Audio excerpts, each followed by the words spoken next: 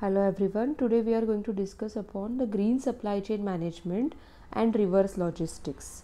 This is the uh, one of the very important chapter in SYBBA uh, supply chain management subject.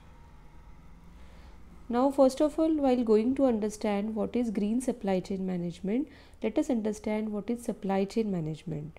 Supply chain management is the oversight of material, information and finances as they move in a process from supplier to manufacturer to wholesaler to retailer and to consumer. Key supply chain management concepts as we know it starts from the raw material then components manufacturer retailer and then to consumer. So in each interface you can see the supply chain uh, represents the movement of goods movement of information and services as well as the uh, title of the mm, particular commodity or uh, material is being transferred and purchase and sale being happened there. Now what is green supply chain management? Green supply chain management is nothing but integrating environment thinking into supply chain management including product design, material sourcing, selection, manufacturing processes, delivery of the final product to the consumer, and end of life management of the product after its useful life. So, when we procure the material into the company, starting from that up to the use, um, uh, or you can say uh, consumption of the material or the consumption of the good by the customer till that time, this is the chain uh, is there of green supply chain management life cycle. So starting from uh, you can say the concept of the business that what kind of business you are going to start from that to material procure procurement then manufacturing of the finished goods then transportation then um, retail that is nothing but uh, if the distribution channels whatever you uh, whatever we are using to uh, to that time after that the use or dis then disposal and after disposal uh, after disposal there should be reduce uh, reuse and recycle. So uh, till that time we have to think about the green supply chain management. So some of the success stories are given here like in texas university instruments they have uh, reduced uh, almost 8 million dollar every year by reducing its transit packaging um, budget. Then commonwealth edison then PepsiCo and dow corning. These companies are there who are using the green supply chain management. Pollution prevention hierarchy.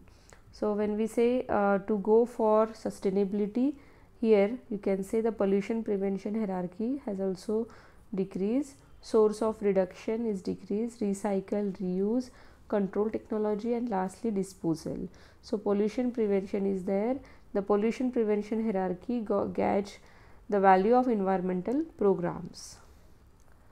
Now what is the need of green supply chain management? As we know uh, for the sustainability of the business it is needed. Increasing environmental uh, issues like global warming and all then csr corporate social responsibility eco-friendly then uh, increasing the environment awareness in the stakeholders response to increasing fuel prices. For uh, for you can say in this era it is very important to go for the green go green.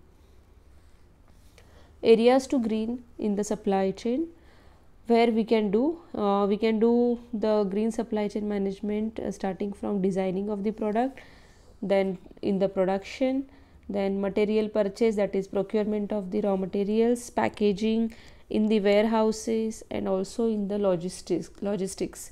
Everywhere we can um, these are the main areas basically where we can apply the green supply chain management. Designing of products.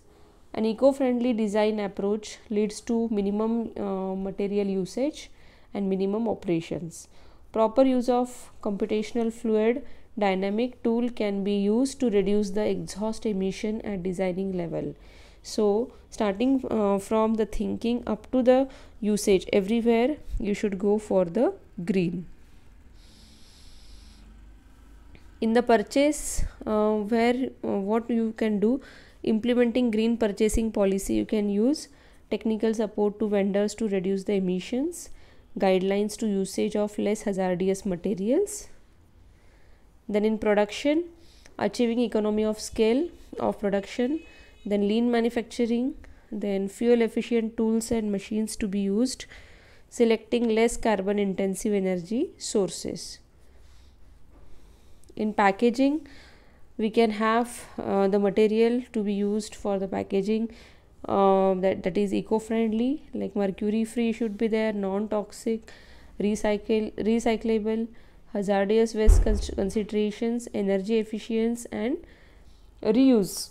Uh, reusability shall be the characteristic of those packaging material. Benefits of green supply chain management there are basically three benefits are there. Financial benefit environmental benefit and social benefit so first of all financial benefit it will increase revenue it, uh, for long term it will reduce the cost. Then enhanced customer service will be there. And environmental benefits reduced waste increased energy efficiency uh, reduced air emissions reduced water these things so in uh, increase asset utilization and enhance customer service. In environmental benefits reduced waste increase energy efficiency reduced air emissions water emissions fuel consumption to be reduced. And of course in social benefit you are going to get the long term benefits like health and safety and security.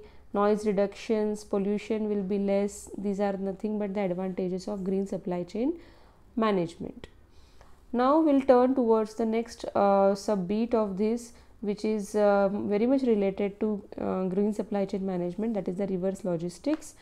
Uh, that is the driving the truck the opposite way trash to crash. So trash is something where you have consumed the material from that to encash it.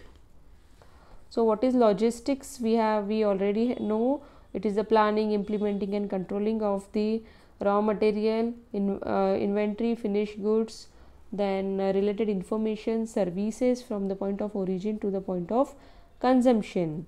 For what? For the purpose of meeting the customer requirements. Now reverse logistic is something uh, this is the uh, flow of uh, material from the point of consumption to the point of origin so uh, why it is there? For the recapturing the value of the particular product or for the proper disposal. And because of that we use the reverse logistic. Reverse means uh, suppose xyz product uh, which we have delivered into the market after the consumption uh, we have to pick the uh, pick the material which is not which is in the disposal. And uh, again we have to get it uh, get it to the company. So if you if you deliver again to the company company will recycle it and again it will be or it will be reused. So in this way there will be less pollution. At the same time um, you are not uh, harming to the uh, this uh, environment and that will be very much useful. So handling uh, of returned mer merchandise recycling and reuse hazardous material disposition. So resale recycle scrap sort inspect number of things are there. We have to uh, here uh, discuss. Reverse logistic process. Now you can see from the manufacturer um, merchandise delivery path is given here. Merchandise like supplier from supplier retail store to consumer. And uh, in the reverse logistic uh, you have to go ulta like from consumer to retail store retail store to some um, main store. From that store it will be shipped to the original um, manufacturer. Strategic use strategic weapon competitive reasons good corporate citizenship clean channel, channel recapture value and recover asset legal disposal issues. These are important strategic use of it. But there are many challenges are there to uh, implement the green supply chain management. Like for the retailer manufacturer conflicts are there because um, going green or using the material which is eco-friendly may be a little bit uh, higher in cost. Then problem return symptoms uh, whenever you are uh, recapturing the value or whenever the material are being collected from the uh, disposal or you can say after the consumption it is little bit difficult to collect it then cause and effect. Uh, uh, you have to use the extra manpower and workforce for this and reactive response. That means uh, equally the um, the competitive competitor a company has shall also be using such kind of the uh, system. So this was all about the green supply chain management and reverse logistic system. Thank you